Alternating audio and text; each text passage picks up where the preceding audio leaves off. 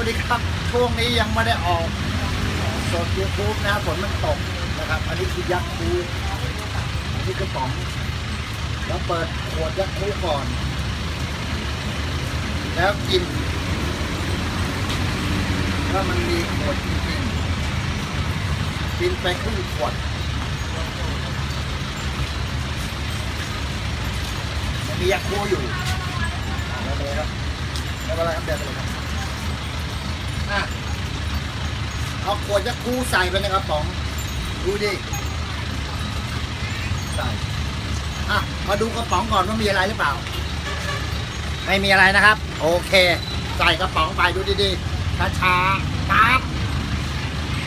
ใส่ไปแล้วใช่ไหมครับ ดูดีๆนะครับ อาจารย์จะพลิกกระป๋องหนึ่งสองพลิกครับพลิกพลิก แล้วก็พิกขวดจะคู่ยังอยู่ น้ำยังไม่หก สวัสดีครับ